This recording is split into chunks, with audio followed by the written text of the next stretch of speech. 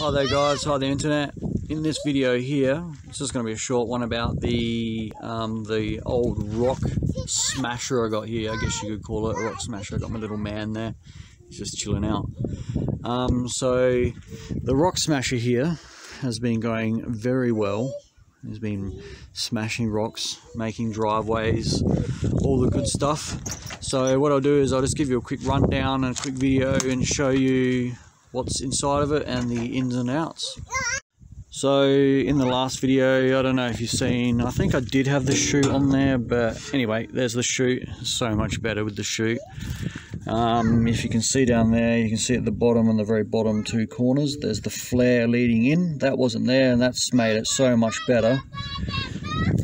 So um, so what we got here is the internal the internal bits now these components here are made of spring steel, so they're actually a piece of leaf spring. Um, I was using mild steel and I found that they wore out like really quick. Like, I don't know, I had crushed up maybe five wheelbarrow loads and they were very worn out. Also I found that they were wearing through on where the bolt goes through. So these spring ones, spring steel has lasted incredibly long but you do need a tungsten carbide drill bit to get through that. So these are held in, obviously they're flexible, uh, like on a pivot there, so it doesn't jam up. These here are 5 8 bolts, um, grade, I think they're 12, or they could be 10, 10.8, whatever, you know what I mean. Um, they seem to be doing the job quite well.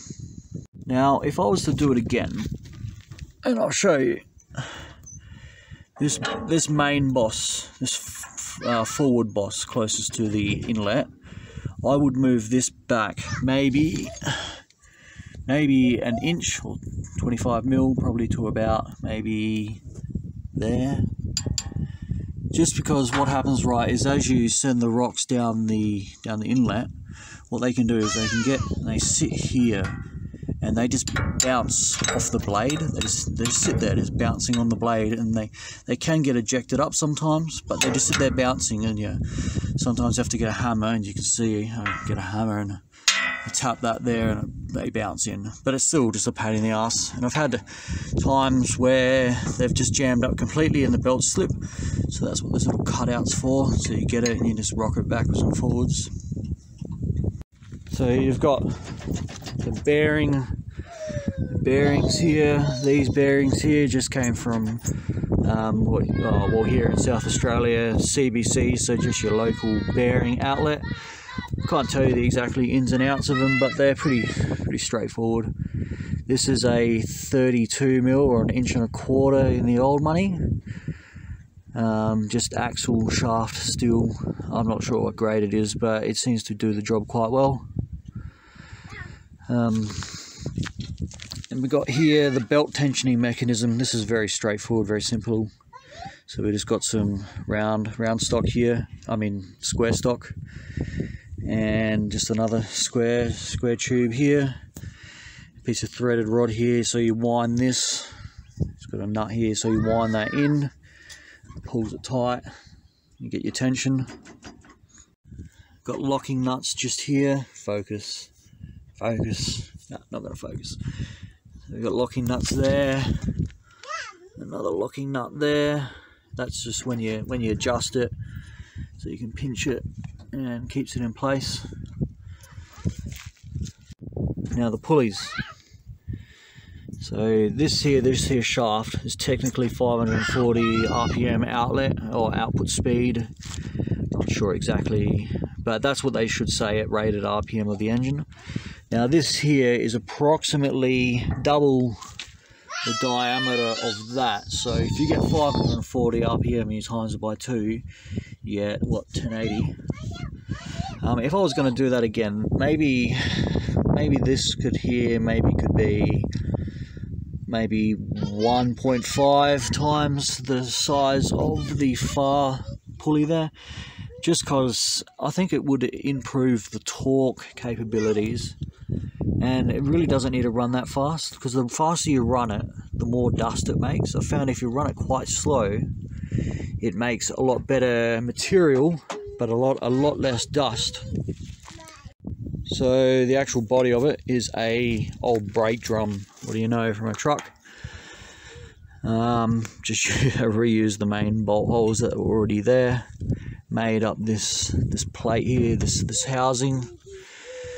Um, and I've got these locator lugs that locate around around the top and around or all around the whole diameter of it. And that just helps locate it so when you when you um, hold it in place with your threaded rod it doesn't move about. One improvement I did make on the old crusher here was that these outputs these outlets the sizes of these holes before were probably only, well, they were 5 eighths, so they were incredibly small. Now, if you've ever drilled cast iron and you've drilled it by hand, you'll know exactly how difficult it actually is. So I ended up having to use a die grinder and I spent a very long time drilling out these holes to make them just, just generally bigger. Um, now the aggregate that we're producing is a lot better, but it's still dusty. Like I said, the change of the pulleys would be definitely the go. But I'm not going to do that because I don't really want to spend any more money on it. If any of you guys have got a suggestion about what I should do with these here, the way they way way the rock sits there and just goes dunk dunk dunk bouncing on the on that there. If you've got a suggestion, let me know. It'd be a good idea. I've thought about welding a metal tab here that's sort of just something to break it up a little bit on the way in so it doesn't sit there. But then you introduce the new weld and that could break as well. But I'm open to suggestions. Any idea is a good idea. So this is the footpath that I've done with it. I've done so much more with it. I've done partly down our road and on the council road out there. I've fixed up many different potholes. I'll just show you some of the aggregate producing now. As you can see, quite a good size. I'll show you some of the other stuff we had. So I just want to got a handful of the stuff that we originally were producing with the smaller holes. So this is it here. And As you can see, it's significantly smaller than this stuff. And that's so much more useful. Now, a lot of you guys have commented about gold or gold ore and using something like this to crush up gold ore. I reckon that if you were to make these holes in the bottom quite small, maybe 10 mil, I reckon you would grind it up into a very fine dust. Obviously, the smaller the hole, the better. And the faster the belt spin, the more pulverized it becomes. In my case, I don't want pulverized rock. So um, this setup here, once again, maybe change the pulley sizes.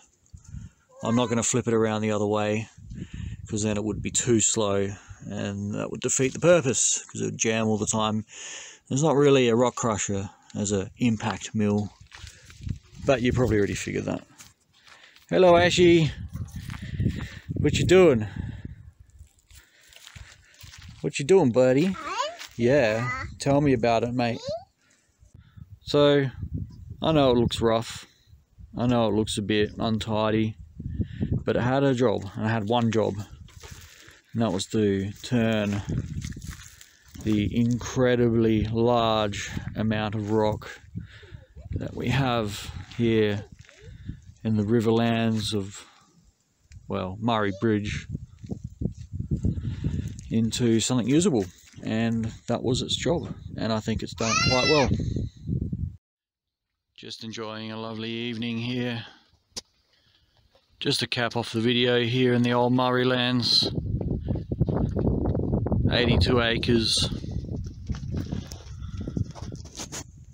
Shout out to the bloke who said I knew you need a new wheelbarrow, Mr. Sam Kiddo. There it is, just chilling. Thanks for watching.